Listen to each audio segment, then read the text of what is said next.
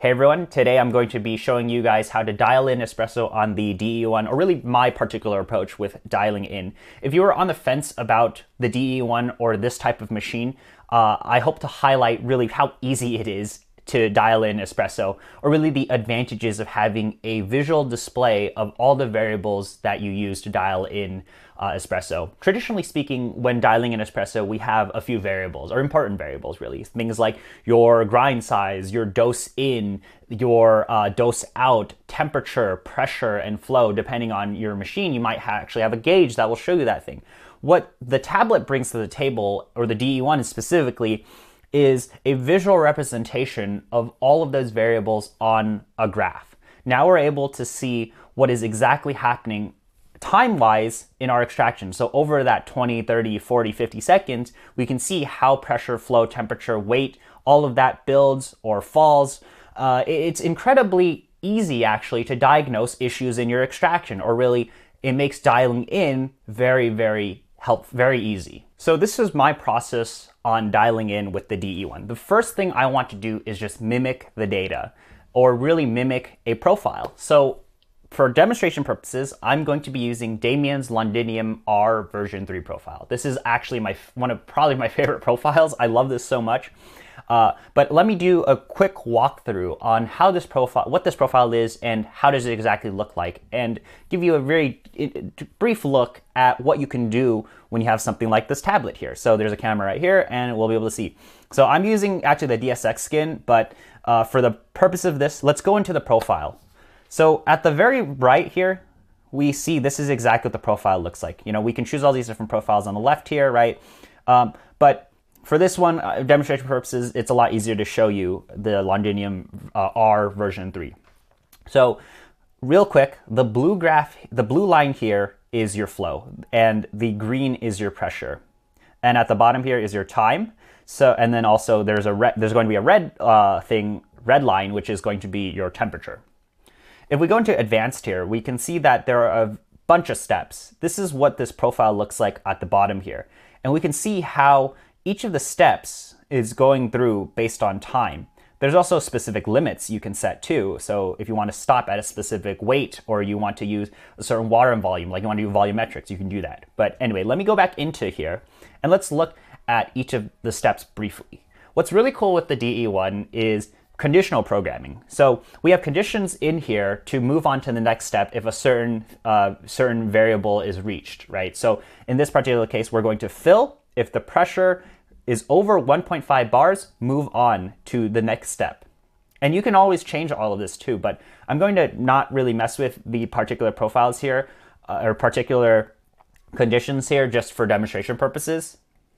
Then we infuse, pressure up. So now we're building pressure here.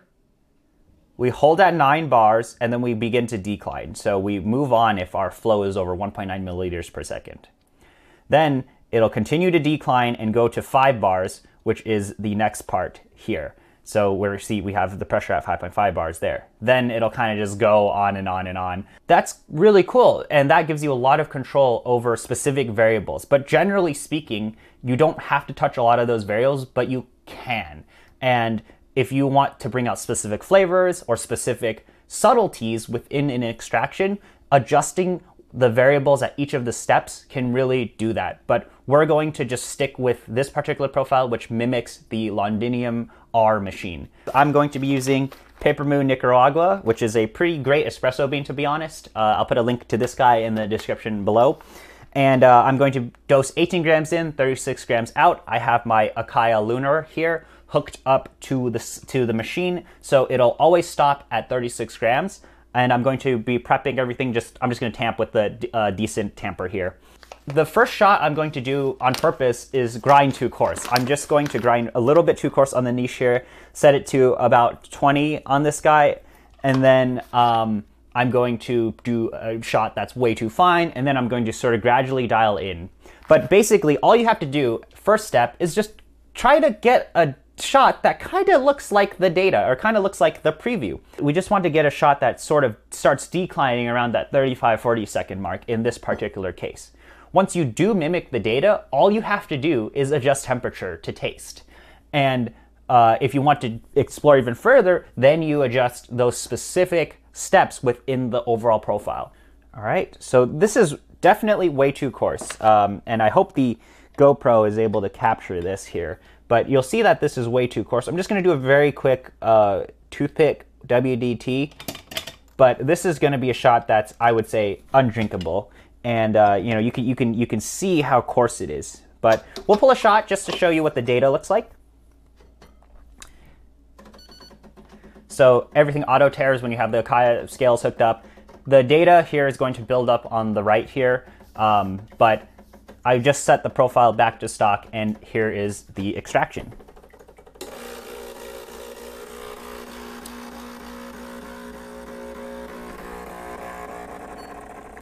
So we see that it is visually pulling way too fast and we see in our data here that it's barely able to build pressure. So we're not even able to build pressure. By the way, this dotted chart here, the dotted chart is what it's supposed to try to do. And then the uh, actual solid chart is what it is doing. So we see that it tried to build up to nine bars here, but it was unable to because we ground too coarse. And also this shot looks kind of bad. So I'm not even going to uh, try to uh, taste this at all. You know, doesn't look so good, but uh, let's prep the next shot, which is going to be too fine now. So I'm moving my grind size from like 20 on the Niche. I'm just gonna go like seven. You know, these numbers aren't that accurate between the, the grinders, but I'm just gonna go from super coarse to super fine, and I'm gonna show you what happens when the pressure just can't decline because we build we build too much pressure because the grinds are just too fine. And now let's pull the same exact shot here. And uh, visually speaking, I don't know if my puck prep is, is that good, but uh, I'm just want I just want to show you data-wise what that will look like.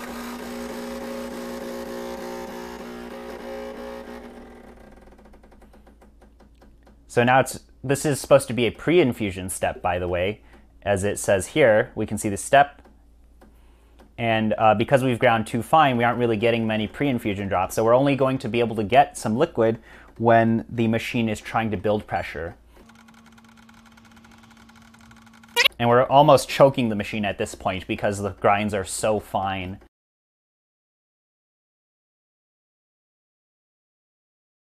Now we've even gone down to the decline stage because of time-wise here. We weren't able to build the flow, but because it was looking at time, it went on to the next step.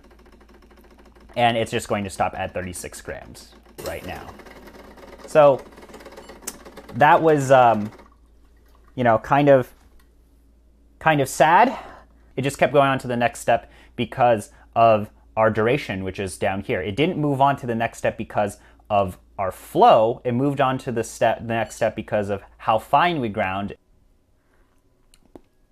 Yeah, so super over extracted. Um, it's incredibly bitter. Um, yeah, it tastes terrible. So let's now actually go and get into a middle ground and grind a bit coarser so we can dial in.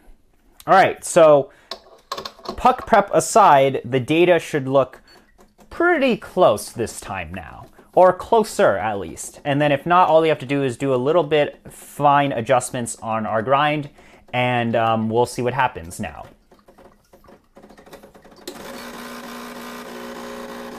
Going into our data so we can take a look. So now we're getting kind of close to how the pressure should build uh, along the dotted green line and the solid green line. Now we're actually pre-infusing down here and we're building pressure. So it's pretty close, honestly. And also my puck prep wasn't looking so good. And now we're declining like the five grams did there. And I'm spraying everywhere with this, but the, um, data looks kind of close to what the machine is trying to do, but we can also do a little bit finer, I think, to look just a little bit closer to what the preview of the data looked like. So now this should be something that is a lot more drinkable than the other two shots. So I'm going to give this a try real quick. Okay, we're getting there. It could be better. What we do need to adjust is next is temperature, but I think I'm going to pull one more shot with just a slight fine adjust, finer grind adjustment. We were close to the, what the steps we're trying to do. What we want to do next is get the visual of the graph to look a little bit closer. So that's the next step. And then after that, the final step is to just play with the temperature and then you'll be able to reduce acidity or reduce ashiness, whatever uh, you need to do with the temperature there. And I'll show you that after I get the data to be look even closer. Okay, 18. And now I've grind, ground a little bit finer this time. And the reason why I've ground finer for this particular pro for this particular shot is because I want my shot to instead of decline so fast around this 25 second mark, I want it to look more in the lines of this shot where it has a gradual decline in that 30 to 35 second mark. And then what I'm going to do afterwards is just play with the temperature to get the uh, acidity to the right level and the uh, flavors that I particularly want.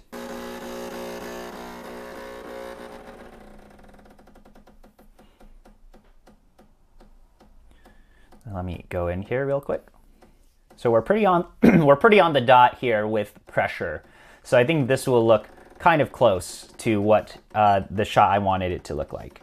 So now we're pre-infusing. Those pre-infusion drops look really good. We're pretty close to the pressure up here.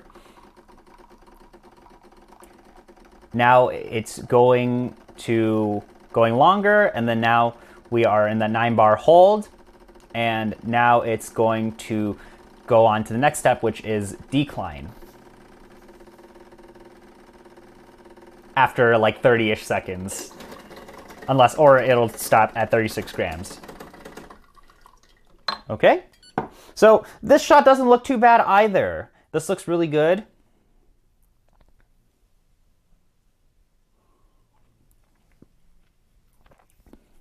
Okay, better, a little bit, a little bit better than the previous shot that we had, we're getting we're getting close to what the data is like. I think I've ground just slightly too fine, and I'm going to just do another one just to verify real quick before we go and adjust temperatures.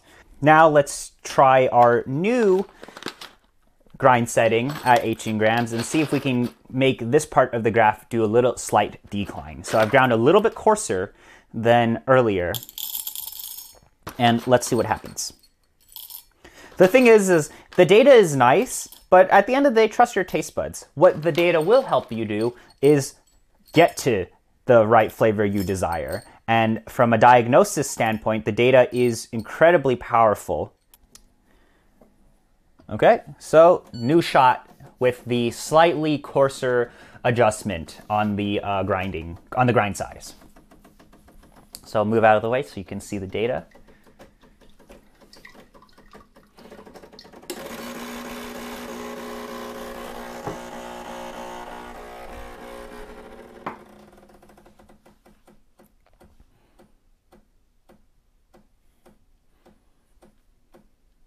Okay, so pre-infusion looks really good on this particular shot. And now the pressure is rising.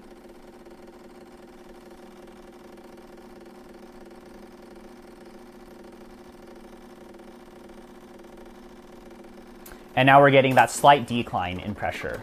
So this looks really good. The data of this chart looks very close to what the preview here looks. So and then we also can follow the steps down here where it's getting pretty close as well. So that's pretty good here.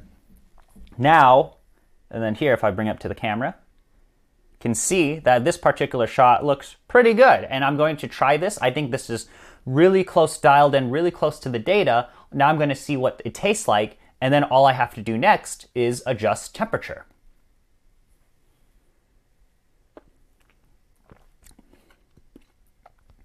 Okay, so this needs a slight temperature adjustment. This is pretty good too. Okay, so I'm happy with the grind size. I'm happy with the overall feel of this shot in terms of mouth te mouthfeel texture. It was pretty chocolatey, but I kind of want to see what happens when there's a low temperature or a higher temperature. And I think that's what's really fun to do with this particular machine, but also from dialing in and you know discovering the flavor you really, really like uh, it's so easy to just go into a profile and all you have to do here is I'm just going to adjust the adjust everything across the board uh, just by four degrees and then we're going to see what happens up and down. Um, what we can do is also, if we want to bring out specific subtleties within extraction during our pre-infusion or pressure up and pressure down us in this particular profile, we can then change durations of things. We can then change temperatures. People like to pre-infuse at lower temperatures, then you go up high, higher, lower, vice versa. But it's really fun to kind of explore that and it's so easy to do it in any way you want to. Okay, so now let's increase the temperature across the board on everything in the profile by 4 degrees. So I'm just going to do 198. This is a darker roast, so it's probably not going to be a good idea, but we'll see what happens. One, two, three, four. One, two, three, four. And one, two, three, four. And what's really cool with this is then I could actually save this profile as something else. I could say, once I'm entirely dialed in, I could say Damian's London, Londinium R version 3 for the Paper Moon Nicaragua, right? You can now adjust all these different things. You can even, I can even put Niche Zero, uh, grind setting 13 or 12 here, right? And it's really cool to be able to do all of that. And now you can basically have preset profiles every single time, depending on what bean you have, depending on what profile you want to use. So I could have, I could say use a Slayer profile, E61 profile. I do the exact same process what I've done earlier in the video, and now I just name things based on what beans I used. And I can even have notes on the flavors inside as well as notes on what grind size I'm using. And that's what's really cool. There's a God shot setting in here where we can save the exact pressure curve of something and try to mimic it every single time. So anyway, that's kind of a little long tangent, but let's do some two more shots and see what happens. Now our graph is gradually declining. Okay, so data-wise looks exactly the same like our other shot as we see here. Data-wise looks exactly the same. Now let's try it. Higher temperature, 4 degrees. Okay, this tastes kind of bad, probably because this is a dark roast and shouldn't really be uh, used at a higher temperature like that. And um, now I'm going to try the other way, which is 4 degrees lower. I think I liked it actually uh, at the lower temperature anyway but we're just doing it for fun and we're going to see what happens. And all I have to do is go back into my profile and lower everything across the board. Okay, so data will look the exact same because we've kept our grind the exact same size. What will change is the flavor of it. The overall feel and body of the shot will be kind of the same because we are building pressure and flow the exact same way every single time. What will change is how it actually tastes, and that's pretty cool. Depending on what type of profile you use, you can get drastically different mouthfeel, different uh, flavors out of it, but adjusting temperature is really nice too and lets you get into that fine tuning world. And also some beans just might taste terrible if you have a low temp versus high temp. Anyway, uh, lower temp now, we're gonna see what happens. I'm going to briefly taste it. I'm getting really caffeinated. but hopefully this has been sort of educational in the sense of how this is. Okay, this is what the data looks like now.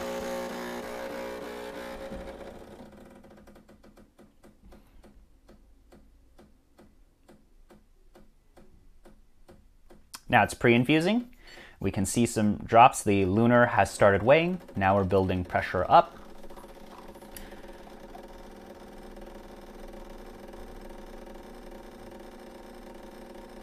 And this data-wise looks exactly the same as the other two shots that I've done. But this should taste different because we're brewing at a lower temperature. So don't know if the camera here can see it, but okay.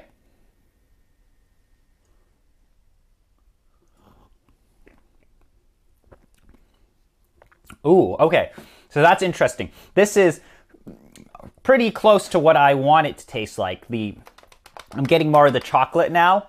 Out of it was already really chocolatey, uh, a, little bit slightly different. It's very hard for me to describe flavors. The entire point is is that if you approach dialing in pretty methodically, which is just mimic the data of a profile that you want or make your own profile and try to make your grind size mimic that. And then all you have to do afterwards is adjust temperatures. If you want to really, really fine tune, maybe say subtleties within the flavor of the shot or the body of the shot, that's when you change the duration. That's when you change the flow. That's when you change parameters in those steps. So I really hope this was a fairly fun video to show you guys what uh, dialing in on a machine like this is and what the advantages are of having a visual display of all those important variables we need when dialing in espresso. I'd like to just real quick show you guys in here. So we've done this on the Londinium version 3 profile, right? We see all these different steps. What we want to do is just um, mimic the data, right? Mimic what these steps are trying to do. Then what I'd like to do afterwards is just uh, taste it see if we need to increase or decrease temperature. The same approach applies for any of these other profiles. There's so many different profiles in this machine and you can make your own. Other profiles that I would like to just real quick mention are the Olympia Cremina profile by Dennis, uh, Den which is made by Dennis from Kafatek, the, the guy that makes the monolith grinders. And that's a really cool profile as well. Uh, two other profiles I want to real quick touch upon are the Slayer profiles. So there's a Slayer profile by Damian, which is uh, has this ridiculously long 60 second pre-infusion, so you have to grind ultra fine for that. I really like that profile straight. Uh, I like the lever profiles for milk-based drinks. Another really cool profile is Damian's Leva profile. Damien Brakel, Brakel, Brackle, I hope I pronounced your name right. You've done a lot for the DE one.